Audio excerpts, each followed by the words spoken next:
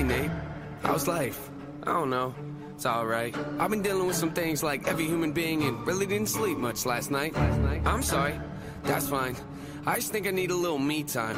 I just think I need a little free time. Little break from the shows and the bus rides. Yeah. Last year I had a breakdown. Thoughts telling me I'm lost, getting too loud. Had to see a therapist and I found out something funny's going on up in my house. Yeah, started thinking maybe I should move out. You know, pack my car, take a new route. Clean up my yard, get the noose out. Hang up my heart, let it air out. Air out. I've been searching. What does that mean, Nate? I've been learning. Grabbing my keepsakes, leaving my burdens. Well, I brought a few with me. I'm not perfect. Looking at the view like this concerns me. Picking up the cues right. I'm quite nervous. Hating when I lose sight. Life gets blurry and things might hurt me. It's probably gonna be a long journey, but hey, it's worth it though. Cold world out there, kids. Grab your coats. Been a minute, I know. Now I'm back to Rome. Looking for the antidote to crack the code. Pretty good. I'm in classic mode. Don't need pity given to me, but I can't condone. Talking down to me, I'ma have to crack your nose for cracking jokes. I'm looking for the map, the hope. You see that? Been making a whole lot of changes. Wrote a song about that. You should play it. I get scared when I walk on these stages. I look at the crowd and see so many faces. Yeah, that's when I start to get anxious. That's when my thoughts can be dangerous.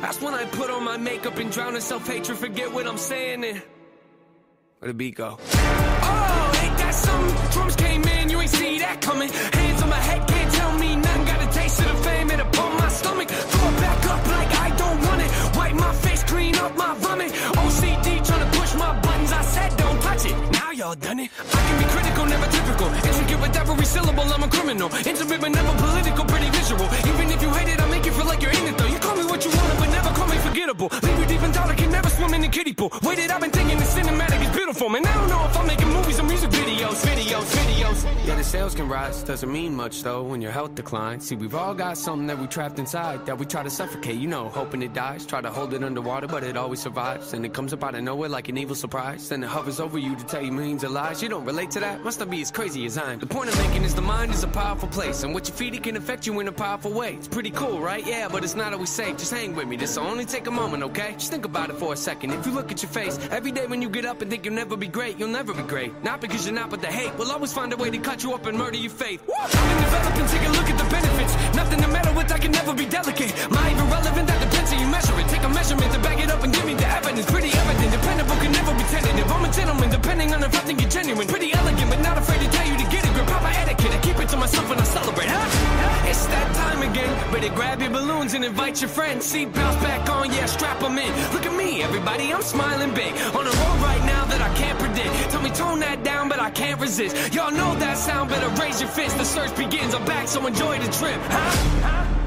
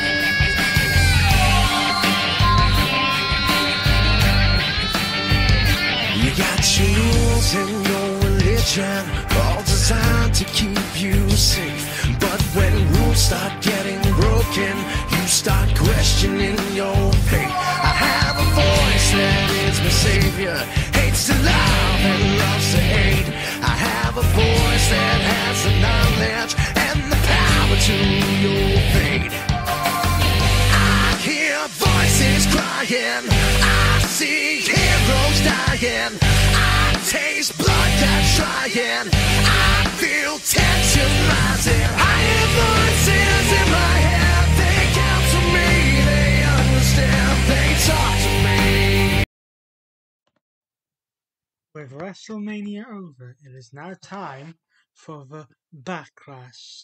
Welcome to the WWE Wrestling Talk Show with Rhys Rock Jones and Sean Randy Smith, as Michael said, WrestleMania is now in the rear view, and it's now time to deal with the backlash. Oh, WWE, why have you have you come up with that sort of catchphrase for it? Well, it's always been the Backlash to WrestleMania. The fact that they've never called it WrestleMania Backlash before is just irrelevant, Why? apparently.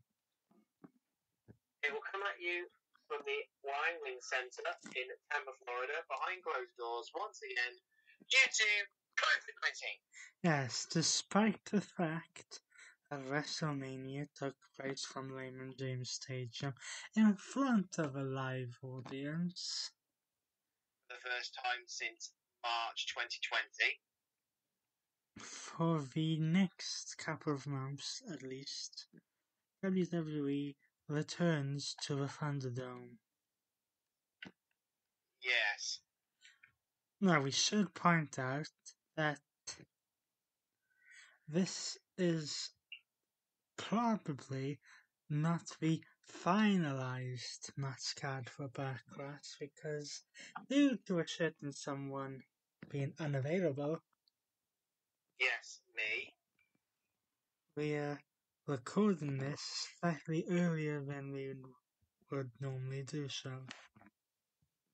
So we'll start off with our supposed first match. Don't forget these matches are in no particular order. And this card is subject to change. Yes. Uh, at WrestleMania, on the opening match of night one, Bobby Lashley, with a little bit of assist from MVP, defeated Drew McIntyre in the WWE Championship match. So the, Bobby ne- the, I ne- think than this, but I, the next night on uh, Raw, MVP comes out and says that no one can beat Lashley. McIntyre comes out to dispute that and says that he wasn't for the distraction of MVP and uh, Lashley would have been hit with a claymore. And he for wants and he wants to have one more opportunity. This then brings out Randy Orton and Braun Strowman. both of whom And the three individuals, issue their challenges for the WWE Championship. Prompting then in what is almost a rinse and repeat move at this point. The WWE official Adam Pearce come out and make a triple threat match between Braun Strowman, Randy Orton, and Drew McIntyre, where the winner will face Bobby Lashley at Backlash for the WWE Championship. That match was won by Drew McIntyre. However. However, two weeks ago on the April 26th episode of Raw, Braun Strowman challenged Drew McIntyre to a match where if he won, he would be added to the championship match, making it a triple threat match which Strowman did actually do. Yes. So, at Backlash, we will have a triple threat match for the WWE Championship as the almighty WWE Champion Bobby Lashley defends against the Scottish psychopath Drew McIntyre and Braun Strowman of the Strowman Express. Now, the debate here is why was Strowman even put into this match when he's not booked, he's not booked or really positioned as a world champion. The only reason uh, he was even Universal Champion last year was because Mr. Head of the Table had to uh, go away for a while. Yes, due to 2019 reasons. And apart from murdering Shane McMahon at WrestleMania,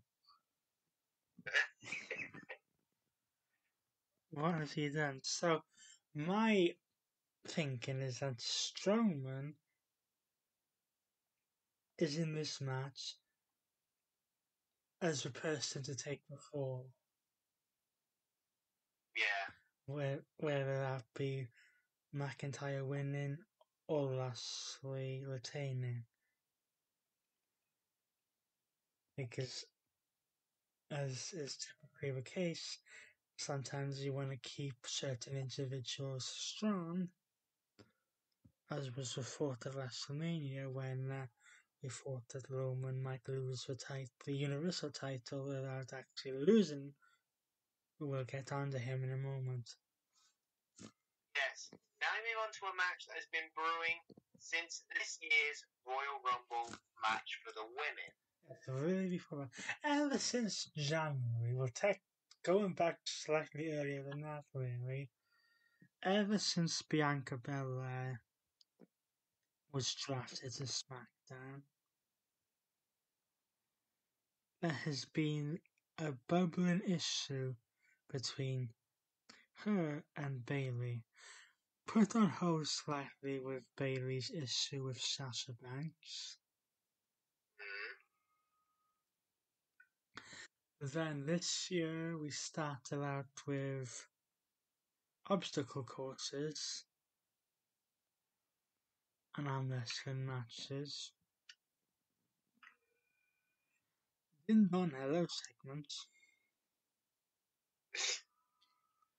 And of course the Royal Rumble match in which Bianca Belair eliminated Bayley from the Rumble match, would go on to win it, and then would uh, go on to night two, night one of WrestleMania, become SmackDown Women's Champion. Now, Ding Dong Hello has decided she wants her title back. yes, she does. Even uh, even resorting to attacking Bianca Belair on the, on the latest edition of a throwback SmackDown. Now, this is how I see this.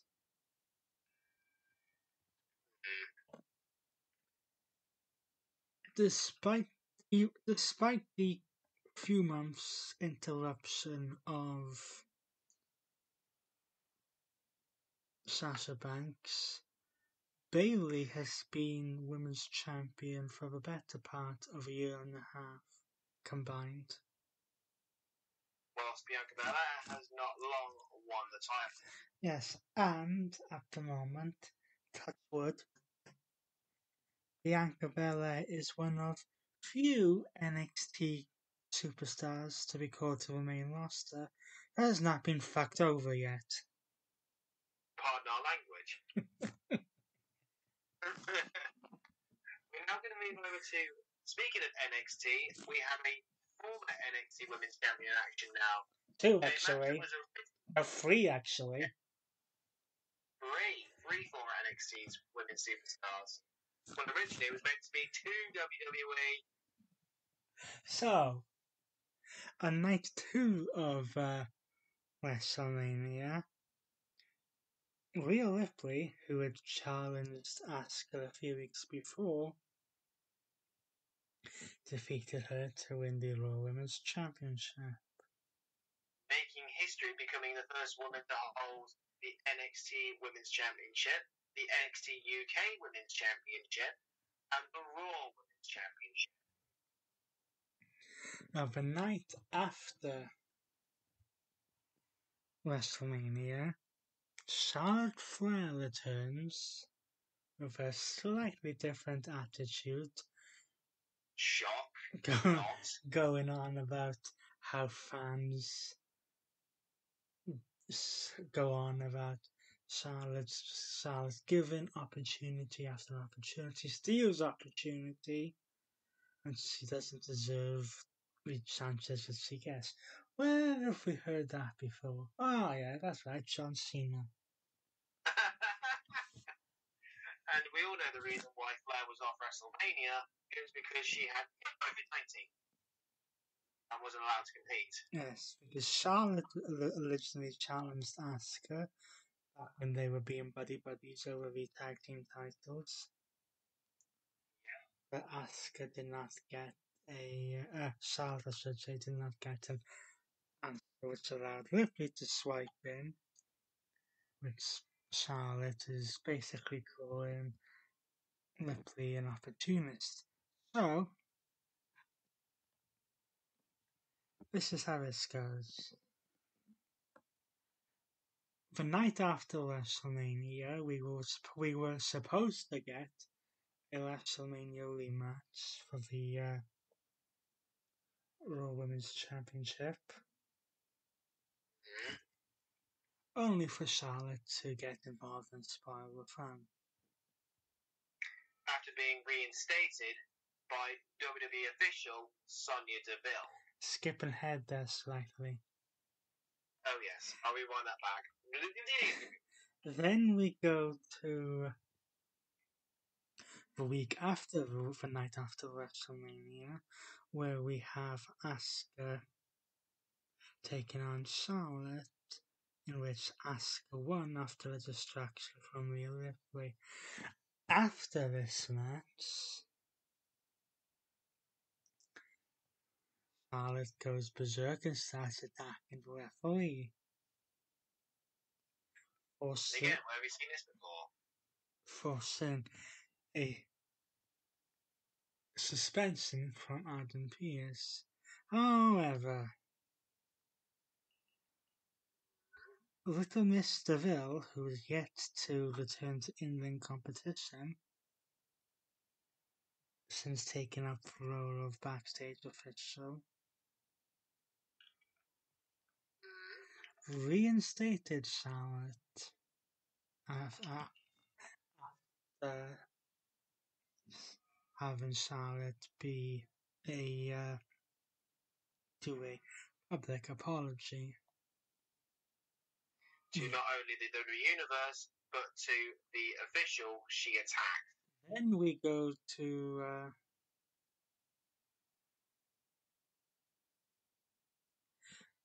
then we go to another rematch being made for the uh, Women's Championship, in which Sonya Deville added Charlotte to the match, making uh, this another triple threat match for the uh, Raw side. Yeah, Uh, this outcome worries me. it, the same here. It worries me too. Like, like fans are gonna be in an uproar if Charlotte walks out as champion here. Yes. Asuka not so much, but she's held the title for the better part of last year. And really, the fact that Ripley's already beaten Asuka, a story that needs to almost revolve around here, should date back to last year's WrestleMania, It should. when uh, after winning the Royal Rumble match, and Rhea Ripley making a uh, brief appearance on the main roster as NXT Women's Champion. The two collided at WrestleMania yeah, 36, aka COVID 19 or Corona Mania 1 and 2. and there, it, there it was almost where a, start, a downward spiral started for Ripley when she lost the title to Charlotte. Here, WWE is starting to, by the looks of it, build Ripley to uh, where she was and what she should be. And the best way of doing that would be to have her retain the title. I think WWE would be crazy to launch two, or attempt at least, to launch two women by having them both win the title at WrestleMania, only to have them both lose them a month later. Yeah. But when WWE, things, WWE done things uh, logically? I don't know, they did it about 20 years ago. so now move to another match where it will be for the SmackDown Tag Team titles as the Dirty Dogs, known as Dolph Ziggler and Robert Roode, defended, defended against the father and son team of Rey and Dominic Mysterio. Yes, hopefully we will have some history making activities here. For the, for the past several months, really for the entire build of the WrestleMania road, Rey Mysterio has been talking about wanting to hold tag team gold with his uh, son. Really, the only complaint about this match, especially if it goes the outcome that uh, we all want wanted to hope it will and are really expecting it will. My only complaint is that this match probably should have happened at WrestleMania instead of doing the fatal four way we did on the SmackDown before. Yeah. And, uh, and of course, the history would be that if they win, hopefully when they win, Rey and Dominic Mysterio will become the first father son duo to become tag team champions. Yes. Now we have a match that stemmed, that has kind of stemmed with a bit of rivalry and a bit of story. As Yes. the table puts his Universal title on the line against Cesaro.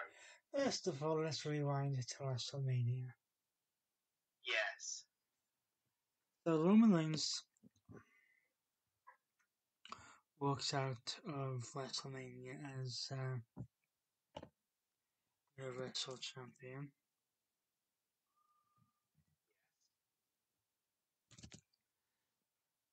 Cesaro walked out of WrestleMania victorious. Did. Then we have Cesaro come out and say he wants a Universal title shot. Roman Reigns and Jey Uso and Seth Rollins basically all come out saying you don't deserve one.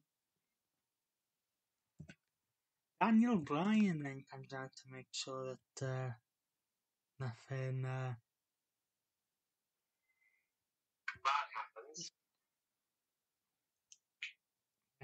and and in the and in the like week or two afterwards he gets another universal championship match with a stipulation on it Yes.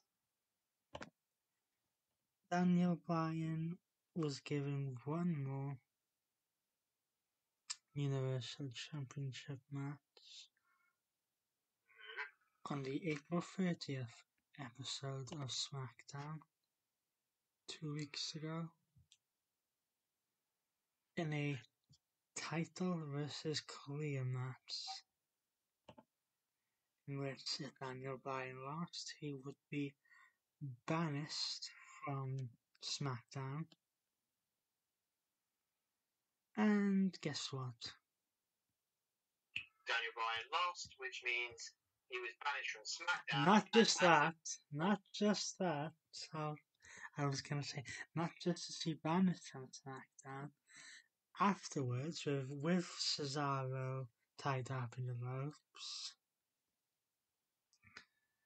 Roman Reigns hit Daniel Bryan with a Con-Chair-To, which seems to be, at least at the moment, signifying the end of his contract with. WWE. Yes, because the rumours going around was that after his match with Roman Reigns, Daniel Bryan's contract expired, so which means he is now a free agent. And uh, appropriately, his uh, contract supposedly ran out on May the 4th be with you. what a coincidence. Now, given the fact that his father-in-law, or his stepfather-in-law, is John Laurinaitis, people power. Pe- people power, No, no, and that his wife is a WWE Hall of Famer, who Yes, Brie Bella. who I believe still works under WWE as an ambassador. The chances are this is this is not the last we have seen of uh, Daniel Bryan in WWE. So whether negotiations have been happening behind the scenes of some kind of new contract that has either been signed or yet to be signed, and that Daniel Bryan just wants to take a bit of time off. Who knows? Who knows? But that also leads to a match which took place this past week, On a throwback episode of SmackDown, a WrestleMania rematch with Seth Rollins taking on Cesaro, in which a returning face by the name of Teddy Long the WWE Hall of Famer, holla holla holla. revealed that if Cesaro won, he would get a Universal Championship match at WrestleMania Backlash, or Backlash as it's called. What should be called? Uh, whatever. A few little deciding factors in this. One, Person, personally, I don't see Roman Reigns losing the Universal title before before SummerSlam at this point. and. And then you have to factor in the outside figures. I don't think it's Seth Rollins and Cesaro's issue is done yet. And you've also got to bear in mind the fact with um, Jey Uso and Paul Heyman. And not just Jay anymore. Now you need to factor in Jimmy as well. And yes, because Jimmy returned on, on this past week's edition of Throwback SmackDown. and also what part exactly he will play in this uh, factor because it was all it was in in in a small kind of way it was Jimmy's fault that Cesaro lost in uh, the match to begin with. Yes. So whether he's going to join the pack like Jey and uh, Roman, or whether they're going to try to split up the Usos as a tag team for now, or whether this is going to be the beginning of The end. the end of, of the uh, reign of terror of Roman Reigns. Tell. Switching back to Monday Night Raw. And again, another issue stemming from WrestleMania. Well, technically, this stems back, I would say, slightly further. Kind of extends back all the way to the Rumble. As Damian Priest takes on The Miz. Yes, so this dates back really all the way to Bad Bunny being in the Royal Rumble. Or at the Royal Rumble. And Damian, Survivor Series, I think it was. it was Royal Rumble. And Damian Oh. Priest uh, get, Getting called up getting called out to the main roster. From NXT. The Miz being jealous over Bad Bunny's uh, design. Let's say the career and the fact that he was getting uh, a little bit more attention than uh, the Miz was. Mhm. Resulted in some back and forth slack talking. Slam talking, I should say. And then we would get a challenge made by The Miz to a match at WrestleMania between The Miz and Bad Bunny. Mhm. This would then be up to a tag team match with Damian Priest teaming up with uh, Bad Bunny against Miz and John Morrison in what was the, the best celebrity match I have ever seen. Yes, credit to Bad Bunny for actually being pretty good. But then the issue was not being laid to last because uh, Damian Priest and uh, The Miz are continuing to go at each other, involving Maryse in some stages to promote Miz and Mrs. Yeah. And then John Morrison has also been, been thrown into the middle of this with several matches against Damian Priest on Raw. The most previous, uh, latest would decide the stipulation for this uh, match at Backlash. Yes, Because we all know The Miz likes to run away from things. he does. So after Damian Priest won his match against John Morrison, and The Miz tried to attack Damian Priest and run away, Priest then headed to the office of Adam Pearce and demanded a lumberjack match. Yes. Blend superstars from Raw, blend superstars from SmackDown, beam aliens from down in space. He doesn't care. He just wants to make sure that there is no place for the Miz to run. And Miz, I would be worried if I were you. Remember what happened when you were last in a lumberjack match?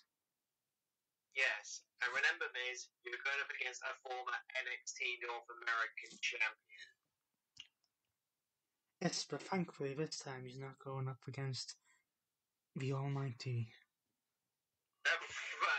so let's run you through the match card one more time, and don't forget this match card is subject to change. As it stands, Bobby Lashley will defend the WWE Championship in a triple threat match against Drew McIntyre and Braun Strowman. Bianca Belair would defend her SmackDown Women's Championship against Ding Dong Hello in Bayley. Rhea Ripley will defend the Raw Women's Championship, also in a triple threat match against Asuka and Charlotte Flair. The Dirty Dogs of Dolph Ziggler and Robert Roode will defend their SmackDown Tag Team Championships against the father and son team of Dominic and Rey Mysterio. The head of the table, Roman Reigns, will defend the Universal Championship against the Swiss Superman Cesaro. And Damian Priest will take on The Miz in a lumberjack match. Now, as to what could possibly be added on tomorrow night's episode of uh, SmackDown, SmackDown. We are looking at